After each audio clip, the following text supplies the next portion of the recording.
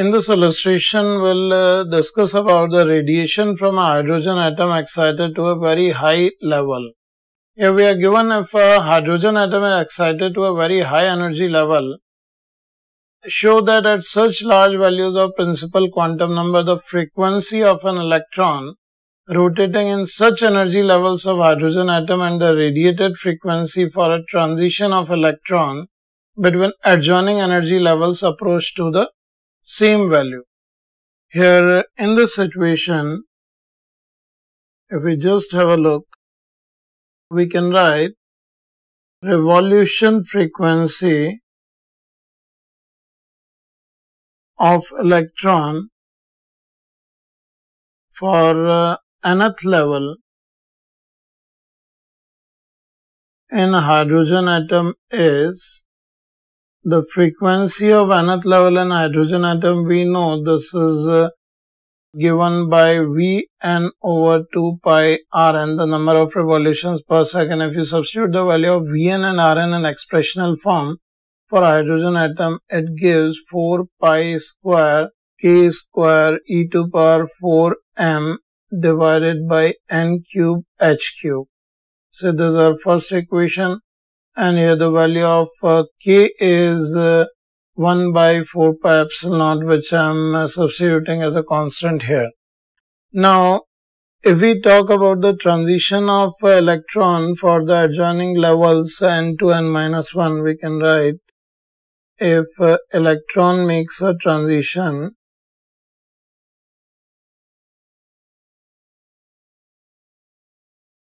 from n to n minus 1 we can write radiated frequency is this can be given as c by lambda so we can write it rc multiplied by 1 by n minus 1 square minus 1 by n square. So here if we substitute the value of r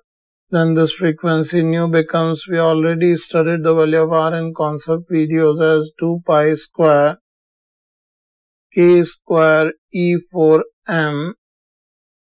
by ch cube and this multiplied by c and uh, this multiplied by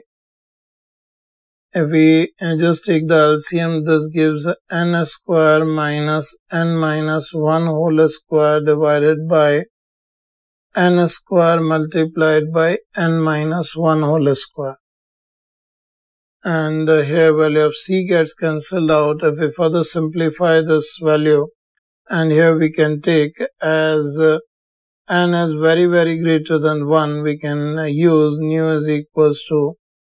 2 pi square k square e to power 4 m by h cube multiplied by this 2n minus 1 divided by n to power 4. And here again for very high values of n we can take 2n minus 1 to be approximated as 2n. So as n very very greater than 1 we can write n minus 1 to be approximately n and 2n minus 1 to be approximately 2n. So here this value will be approximated as 4 pi square k square e4m divided by n cube h cube which is equation 2 and we can see for uh, n very very greater than 1 equation 2 approaches to 1 and this is what we are required to prove